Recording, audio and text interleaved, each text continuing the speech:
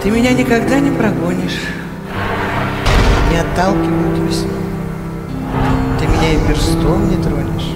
Храни меня, мой талисман, храни меня в одни гонения.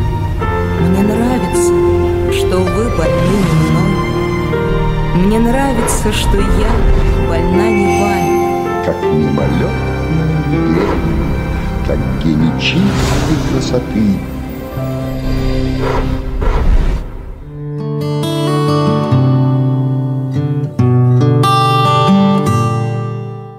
Я сама удивляюсь э, вообще этому процессу, как это все появляется.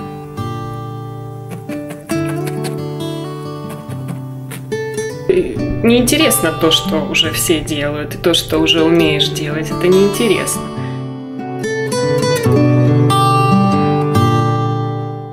Весь этот процесс, конечно же, это такое ме- медитативное.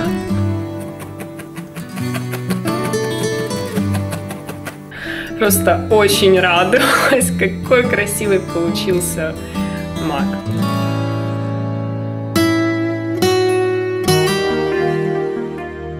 Наша героиня по образованию экономист. Но сердце молодой женщины манит другой род деятельности. Наталья создает удивительные вещи своими руками. Это и декоративные элементы интерьера, например, декупаж, способный даже самым безликим предметам быта придать индивидуальность и стиль.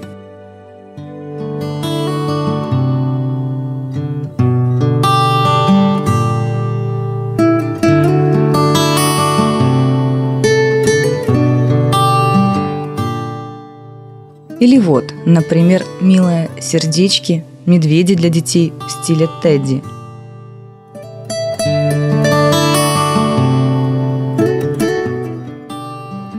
Совершенно очаровательные зайцы и другие трогательные и уютные игрушки.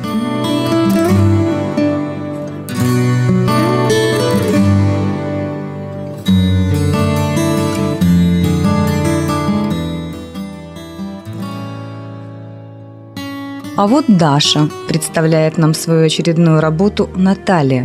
Даша не так стара, как кажется.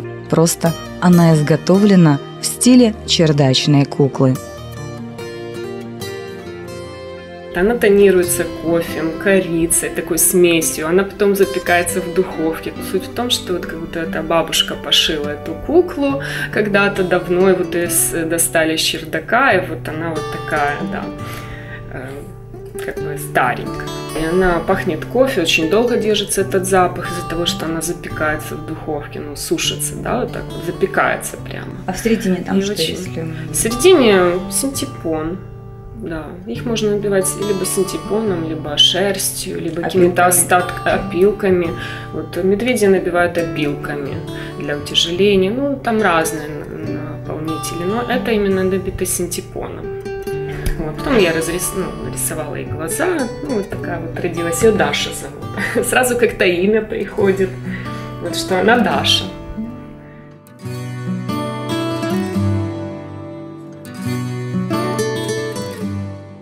неинтересно то, что уже все делают, и то, что уже умеешь делать. Это неинтересно.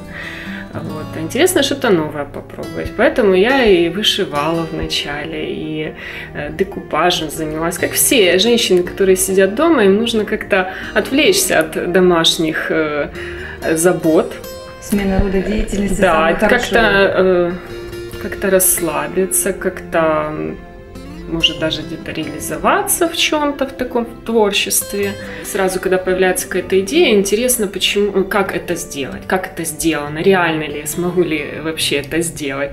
Опять же, когда видишь какой-то мастер-класс, хочется сразу попробовать. Э, Вот. И когда уже в процессе делаешь, видишь, что это, да, получается, ты понимаешь, что это можно кому-то подарить. Вот это для меня очень большой стимул. Что-то делать, э, вещь ка- ка- какую-то, которую можно подарить кому-то. Вот. И э, так вот рождаются идеи.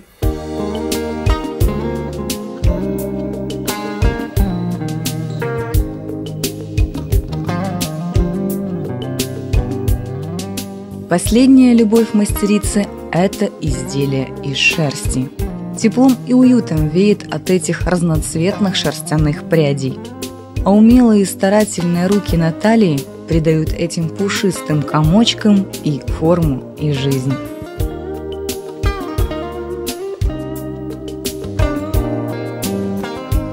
довольно-таки сложно, необычно вот этот э, способ делать вот какие-то красивые вещи.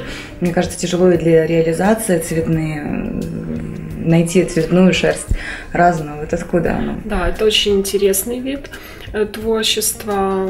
Такой, на первый взгляд, очень сложный. Многие спрашивают, ну как же это? Ну, на самом деле, очень простой. Вот если так уже разобраться. Э, да, давно я заинтересовалась этим. Э, вначале как-то по телевизору что-то увидела. Потом мне подруга подарила вот такие, она в Германии живет, такие вот из шерсти. Во-первых, они очень приятные на ощупь. Когда берешь, это мягкое, теплое, оно натуральное, очень приятное на ощупь. И э, заинтересовалась я вот и начала искать эту шерсть, где же взять. Но у нас ее как-то ни, нигде нельзя было купить, в интернете не было. Ну, а потом она постепенно начала уже появляться, и, и в Ужгороде можно уже стало ее купить там.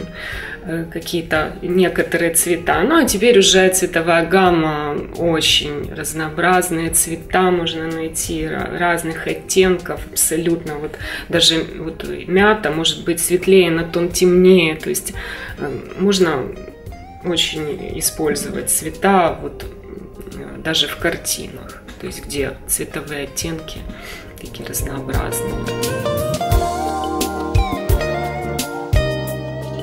Наталья с удовольствием согласилась рассказать и показать русскому времени один из видов валяния, а именно сухой. Опробовать на себе, как за 10-15 минут бесформенные комочки при помощи специальных иголок, обычные губки и пары рук обретут новый образ, решила и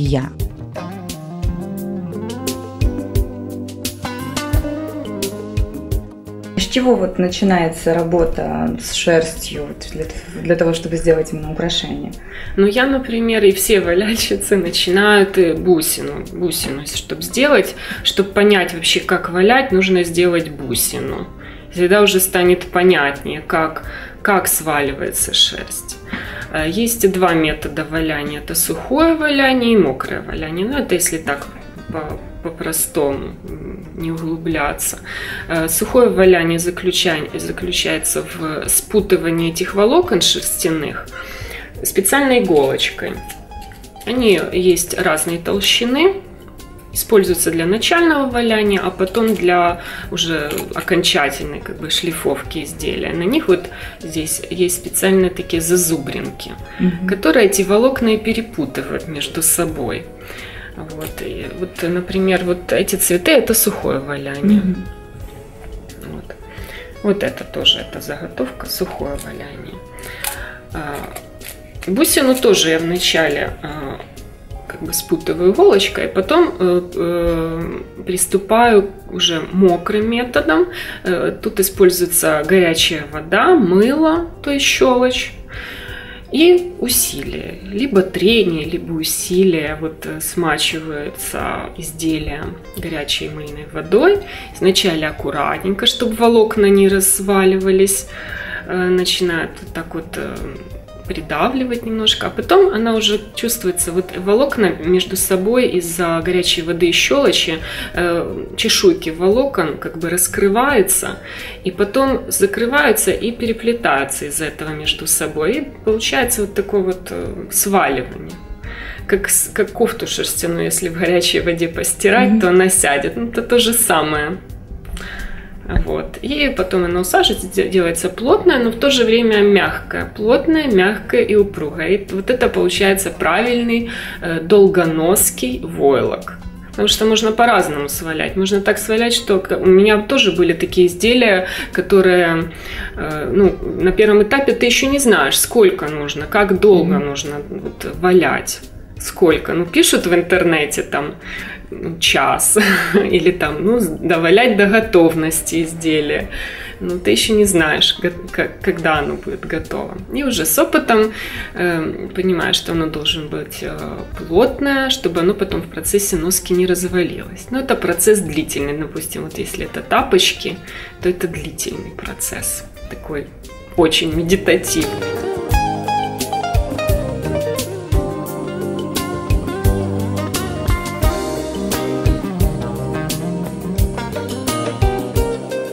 Попробуем. Да, попробуем сделать вот лепесток. Вот у меня э, здесь приготовлен уже заготовка, это такой цветок.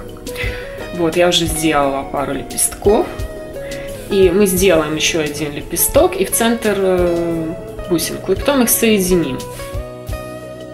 Вот, он такой даже может быть в виде сердечка. Процессе работы Наталья посвящала нас в тонкости мастерства, а также поведала об особенностях этого ремесла и специфике материала. Используется еще, кроме шерстяных волокон в фелтинге, вообще этот вид творчества называется фелтинг. Когда валяние шерсти? Да, фелтинг. Используются волокна. Вот это, например, лен. А он сам, сам по себе, он не, не валяется, но он может приваляться к шерсти. И шелк. И вообще очень... Ой, приятно. Ну, это, это шелк, это натуральный шелк. Ну, потому что э, используется еще, есть такой вид, как нунофелтинг. Я не делаю, потому что он занимает много времени очень и много место нужно для этого, когда э, приваливается к шелковым платкам шерсть. И вот получаются такие как шерстяные, шерстяно-шелковые палантины. Очень интересные.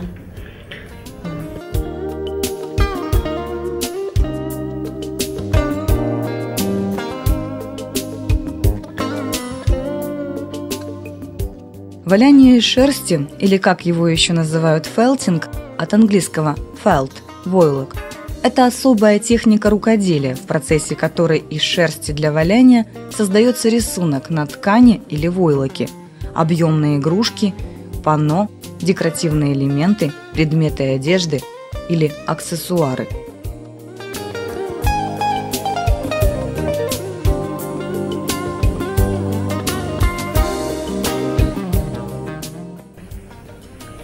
выкладываем вот так вот, стараемся равномерно выложить таким плоским слоем. Вот э, формируем как бы сверху, вот что вот он как будет как лепесток приблизительно. Вот, сплющить его надо. Берем иголку. Это, это мы сейчас делаем сухое валяние. Сухое, да. Здесь мочить мы не будем. Хотя потом этот лепесток можно намочить, помылить, он тогда уплотнится. Он станет более такой плотный. Можно я сделаю какой-то другой лепесток? Его нужно все равно, чтобы он был плоский. Вот эту иголку. И вот так вот, такими вот, да, осторожно пальцы, потому что это очень острое и очень больно оно как будто просто прибивается к этому, да? Оно, да, прибивается. Потом его нужно вот так вот. Это когда уже полностью прибивается. Не полностью. Пару таких движений нужно его уже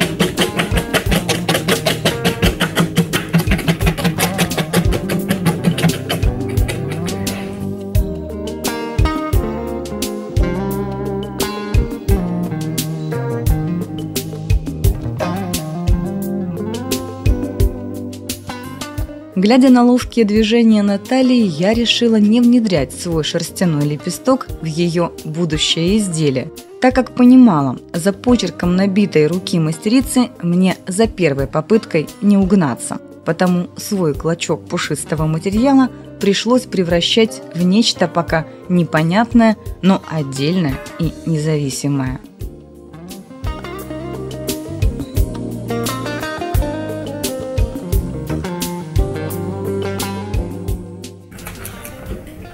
Скажу, что мне процесс нравится. А этот процесс нравится всем. Я проводила пару мастер-классов, и бывает девочки ко мне, подружки приходят. Этот процесс всем нравится.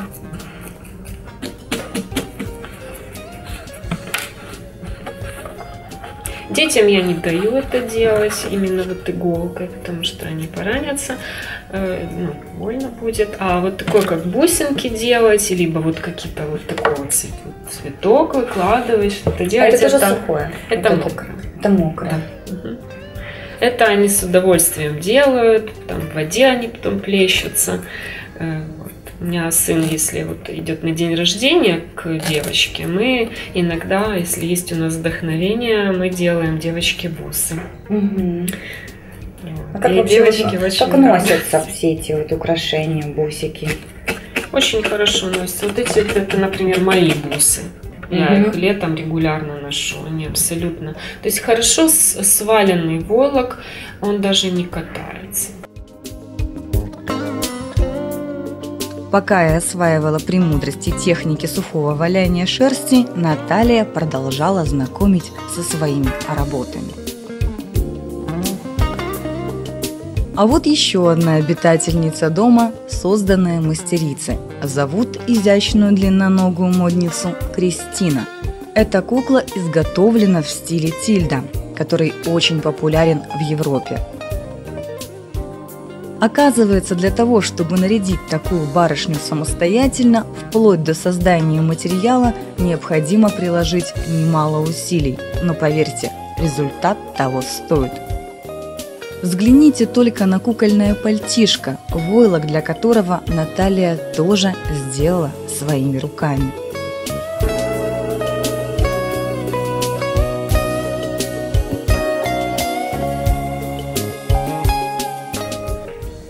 Получилось очень мягко и очень плотно. Да, мягкая, плотная, но в то же время мягкая. Да. И мастерицы делают э, пальто, пиджаки, шьют из этих тканей. Но это очень трудоемкий процесс. И очень нужно много места, наверное, мастерскую. Есть приспособления, которые убыстряют и упрощают работу. Это, например, вот э, всякие такие подручные средства. Но это для мокрого валяния или Это для мокрого, Ага. да, для мокрого. Потому что вот э, войлок вот этот, это же как я войлок сваляла, да, он свален мокрым. Мокрым.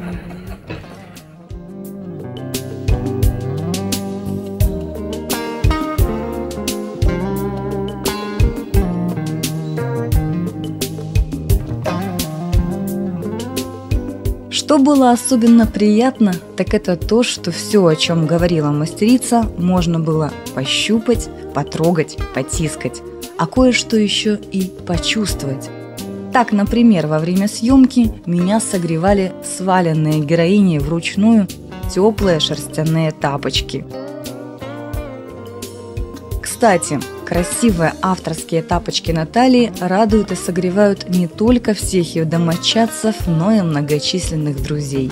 Ассортимент домашней обуви разнообразен, как сама природа.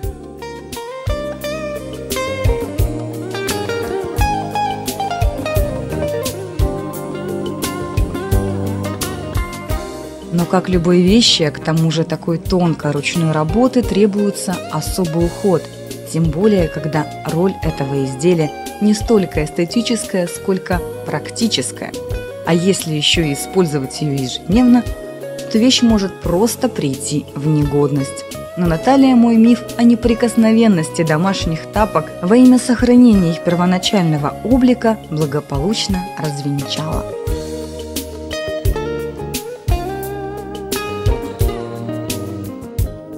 Тапок должен носиться не одну зиму. Вот. Э, Хорошо сваленный тапок носится отлично. Он даже практически не катается, на нем не образуются катышки. Они не, он не протирается, и шерстинки даже внутрь не пропускают пыль. Вот. Э, Ты смотришь, что это такие плотные. Да. Он плотный, на нем такие бугорки, которые очень полезные. Вот они как массаж создают. Поэтому эти тапочки очень комфортно носить на босу ногу. Ну, естественно, они не парят, потому что это натуральная шерсть. Очень комфортные, очень такие здоровые. Здоровая вещь такая. Опять же, там внизу подшита кожаная стелька. Я ее вручную подшиваю. Мастерицы используют иногда там резиновые какие-то подошвы. Ну, мне как-то это, оно может быть и долговечнее, конечно. А но так все-таки натуральный оно- материал, ну оно- Да, как-то у меня ну, нет желания вот резиновую какую-то подошву подшивать. Вот. Их надо периодически выбивать, вот, чтобы, ну, там, Мгм. пыль, какие-то крошки, может быть. И потом в конце сезона я их, их стираю мыльной водой, руками, ну, в прохладной воде. Э, выж- выжимается в полотенце, ну, как кофты мы когда-то, да, так их выжимали. И э, придается форма, даже можно одеть, вот так чем-то постучать, и они принимают свою форму. Их, если вдруг протерлись, их можно реставрировать, то есть взять шерсть и иголочкой добить, и потом завалять. Даже мокрым. Так что, так что абсолютно Да, они универсальная вещь. Очень, да, они хорошие. Потому что многие спрашивают, ну как же, как же их носить? Их же потом нельзя постирать. Нет, Мгм. отлично они стираются. Кожаная стелька, конечно, я использую такие крепкие нитки, пришиваю ее, но она, они тоже могут протереться. Но я не думаю, что это проблема, их можно заменить. Я даже, это, если своим знакомым кто-то боится постирать, ну, я беру их и реставрирую потом. Мгм.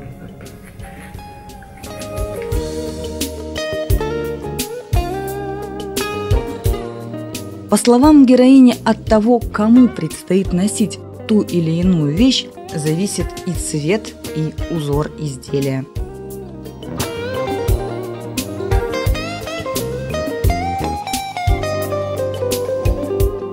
Тапочки я делаю только на заказ или, ну, в основном в подарок подругам, родственникам или если у меня кто-то попросит, я могу сделать.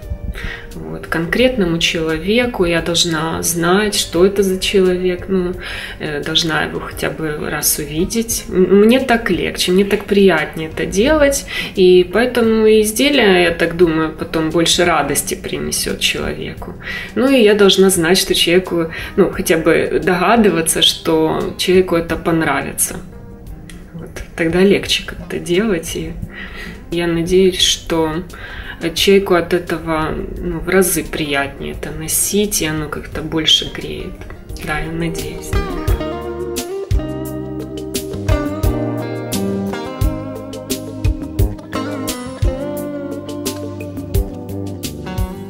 За непринужденными разговорами о творчестве в самых разнообразных его проявлениях у Натальи вышел пышный цветок, который может служить украшением, например, платья, сделав его более праздничным, либо разместившись на лацкане пиджака, придать ему стиль и индивидуальность. А возможно, это станет нарядным украшением головного убора. Все, что пожелаете, фантазии, как говорится, предела нет.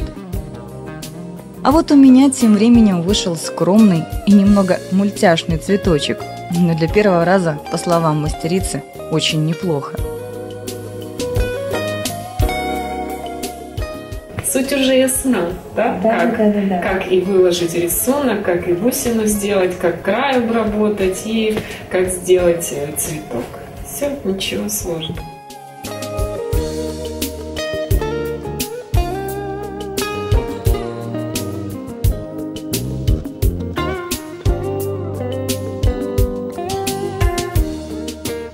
Вообще весь этот процесс, конечно же, это такое мед- медитативное занятие, э, которое необходимо каждому человеку. Просто каждый находит в чем-то своем. Кто-то в медитации, кто-то в молитве, кто-то в творчестве. Обязательно что-то у каждого должно быть такое, где он может вот э, успокоить свой ум.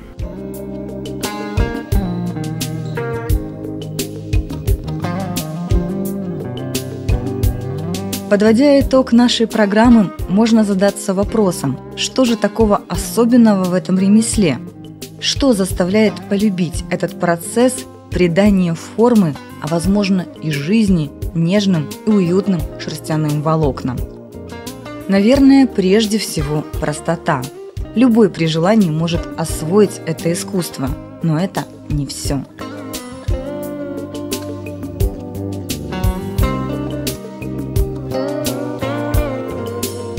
Ведь что бы вы ни сваляли, шили, слепили или нарисовали, будет уникальна и неповторима. Но главное, как мне кажется, в том, что каждая вещь, созданная своими руками, обретает частицу вашей души. Ведь не зря же говорят «сделано с душой», а от того, насколько красивым делает мир человек вокруг себя, настолько прекрасен и внутренний мир человека.